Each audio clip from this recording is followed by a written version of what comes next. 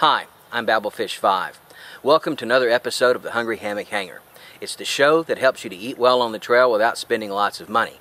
This episode has been shot in stunning 2D. When I'm on the trail, especially during long distance treks, I like lunch and snacks to be quick. I like to get my miles over with early in the day, so I tend to carry snacks and lunches that I can make quickly and eat while I'm on the move. Over time, I've grown to detest Gorp, and I don't feel much better about protein or meal replacement bars either. And do not get me started talking about ground up, nasty in a can, potted pork products either. That's a rant that I could be on for hours. Today we're making two recipes that can either be a lunch or a snack. And the beauty of these meals is they don't require any cooking at home or boiling water on the trail. Both are filling, savory, and flavorful.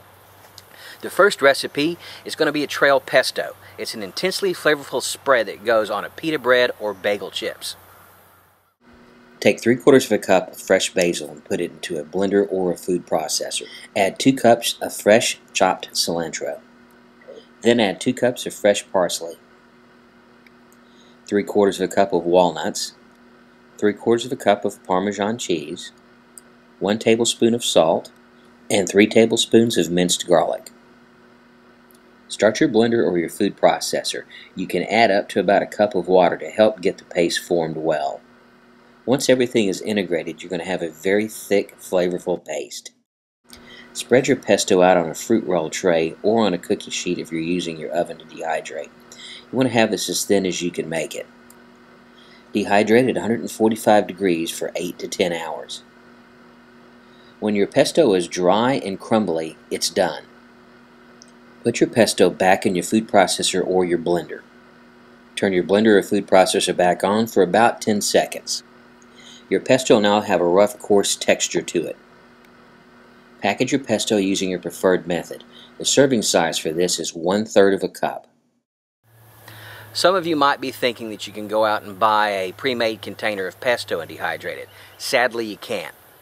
Pesto traditionally has got lots of olive oil in it, and the olive oil in the prepackaged containers is already mixed in.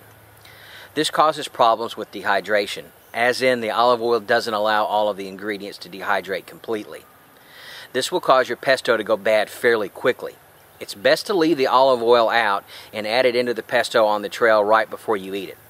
Doing it this way lets you store your pesto much longer Plus, making your own pesto ends up being more flavorful because you get to decide what you want in it. Remember to carry about 2 to 3 ounces of olive oil on the trail with you when you take this out with you.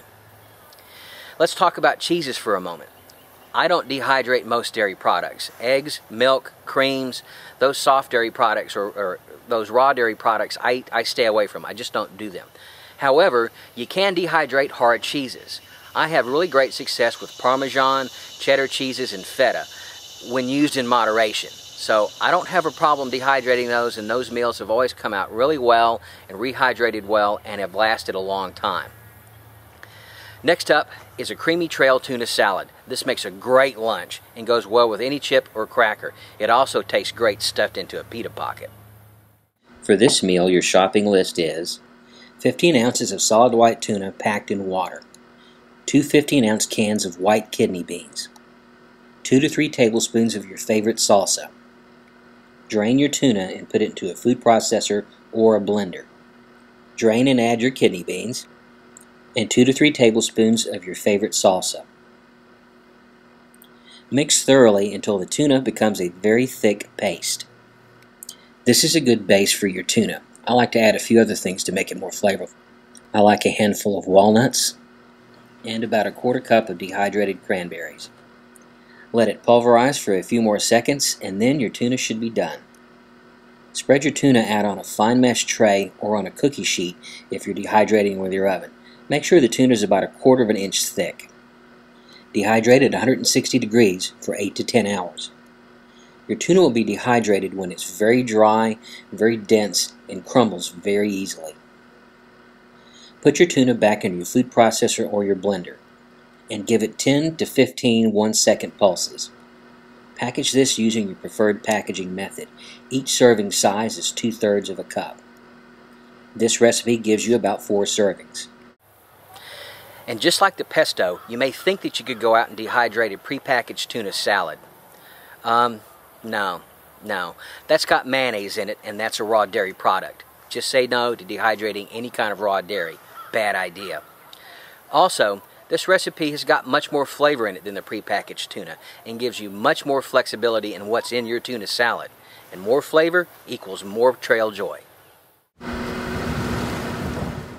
To rehydrate your pesto, all you need is some water and a couple ounces of olive oil. Add enough water to where you're just under the level of where, where the pesto sits. Mix very thoroughly. You want to have this to be a very thick paste. Let the pesto sit for about 5 minutes and then add about an ounce of olive oil. And mix in your olive oil very thoroughly. Put a little bit on your favorite cracker and enjoy. For your tuna, all you need is a bag and a little bit of water. Put enough water to just cover the tuna mix. Mix it thoroughly and then let it sit for 5 to 10 minutes. It'll be a thick paste when it's done. A savory trail tuna sandwich equals unadulterated trail joy. These are two great recipes for the trail. Both are quick and easy to make at home, plus there's no need to boil water on the trail. Both recipes are flavorful, filling, and are a welcome change from ordinary trail lunches and snacks. Stay tuned uh, for more Hungry Hammock Hanger episodes. There are plenty more trail recipes to come.